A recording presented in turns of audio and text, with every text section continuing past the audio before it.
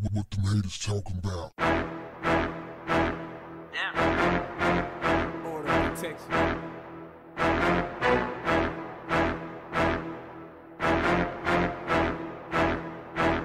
What's up, family? Floyd Mayweather is preparing for his big fight on August 26th against MMA fighter Conor McGregor. Floyd says that this particular fight, unlike most every fight he's ever had, cannot be a defensive fight.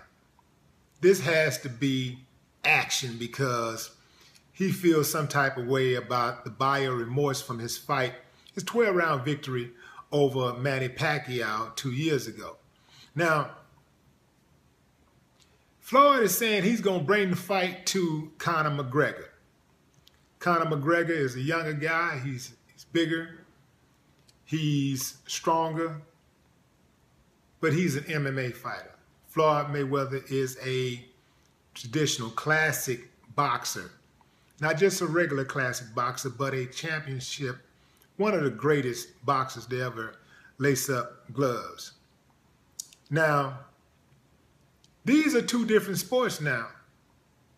You got boxing on one hand, which is a stand-up combat sport, and then you have MMA, which is stand up, roll around on the mat, tussle, wrestle, and all kind of things.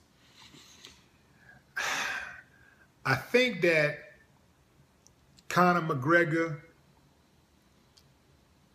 has a chance. Anytime you get into a boxing ring, there's always a chance.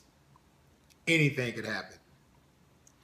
But I think that chance is a long shot. We're talking about a long shot. And I think that the odds are going to actually, All the odds are already in Floyd's favor, the betting odds. And I think that odd the odds are going to extend by the night of the fight. I just don't see Conor McGregor winning this fight. Now, Floyd has been trying to talk this fight up. He's been saying that he's lost a step. He's saying he's not the person he used to be. He used to have a 90% uh, knockout ratio. That's way down. The chance that Conor has is that Floyd has not shown any power in at least the last half decade. So Conor can actually take some chances here. He really has nothing to lose. He going, he's going to pick up a huge payday. Everybody knows who he is. He's a huge draw. He can go for broke. And if he get knocked out, nobody will say, aha, that's what you get. They'll be like, hey man, well, we thought that's what we thought was gonna happen, you know? We, we knew that would happen. If he knocks Floyd out, man, he's gonna change the course of history. Now he really solidifies, he puts his name in the history books forever because Floyd is 49 and 0 and he wants to get to that 50 and 0. Some people are saying that he should have an asterisk by that 50 if he should win this fight, if he so happens to win this fight. Because they're saying that this is really not a fight. This is really not a boxing match. This is more like an exhibition. And most boxing enthusiasts agree.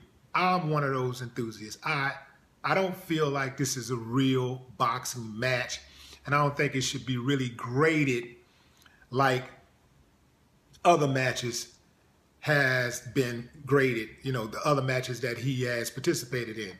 Because Conor McGregor has never entered a boxing ring and competed before in his life.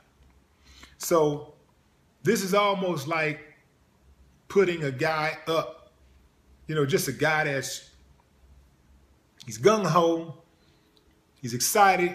He want to fight, but he's getting into the ring with somebody who is 49 and 0 and he's never had a fight before in his life. Now, like I say, anytime you get into the ring, you got a shot. I mean, because all it takes is one punch. and you can be out of here. It can happen.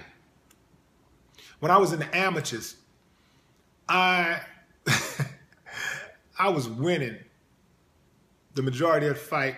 It was three round fight, uh, three minutes. I won the first. I won the first two rounds easily. I'm talking about. I'm coasting. Man, I went to playing around and dude caught me with a lucky one and bam, fight over. So it can happen. And I've seen it happen to great fighters. I mean, great professional fighters, the best of the best, anybody you name, uh, it could happen to. You get inside of that ring. Now, Floyd also has a chip on his shoulder about this fight. well, actually, he didn't have a chip on his shoulder in the beginning, but now he has a chip on his shoulder because Conor McGregor made some racist statements. Floyd took exception to him. He made some statements, some derogatory, derogatory comments aimed at black people. And Floyd took exception to that, and he says, I'm going to beat you all the black people. He said, I'm going to beat you for America. I'm going to beat you for America, and I'm going to beat you for all the black people in the world. Now, in all fairness,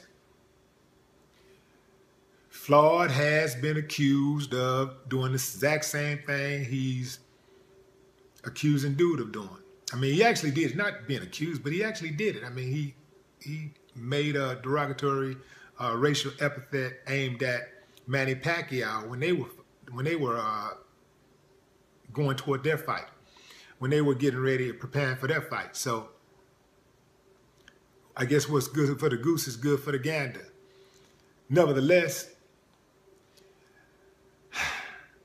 this is one of those fights for me where, you know, it's six in one hand, half a dozen in the other. It's not one. It's not a fight that I'm going to be jumping up and down and say I need to see this fight. It's a fight that I'll see later. Uh, I probably won't watch it the same night. Uh, you know, if I'm up, maybe I will, but I'm not going to go out of my way to watch it. I, I am going to watch it because I do believe it's going to be entertaining. It will be something to see. And these are, this is one of those fights where every now and then you have sporting competitions and stuff where it's just really about entertainment. It's not really about, it's kind of like that sport team that you go watch and they ain't won a game all year, but you go because it's an event, it's entertainment. So that's the way I'm really looking at this fight. Conor has youth, he has strength, he has reach. What he don't have, I don't believe, is a real chance, like a real chance where you like, you know what, I'll put my money on this. He has a chance, but I don't think he has a real chance where you would actually put your money down on it. Because Conor when he fought Nate Diaz, he struggled boxing. Both of these guys, uh, Conor and Diaz, neither of these guys had good head movement. That's going to be a problem fighting Floyd Mayweather. If you don't move your head, you're going to get hit in the head. Often. You got to be able to move your head. You got to be able to move if I'm Floyd, last fight, maybe I get to 50 and 0 for all the marbles.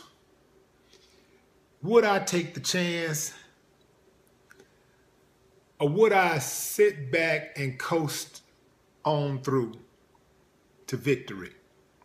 If Floyd decides to just do his defense and stick and move, he will easily win the fight if he chooses to brawl and mix it up, he is going to put himself at risk. If I'm Floyd Mayweather, would I do that? I'm 49 and 0. One more win, I'm 50. I'm a perfect 50 and 0. Would I take the chance to just squabble, just squabble? for my legacy, hell yeah, I'd do it. I would do it. I don't give a damn what nobody say. I would risk it. Last fight, I give them something to remember. I put it all on the line. I'd roll the dice and I fight my ass off. No more talk. What, what the haters talking about? Order of protection.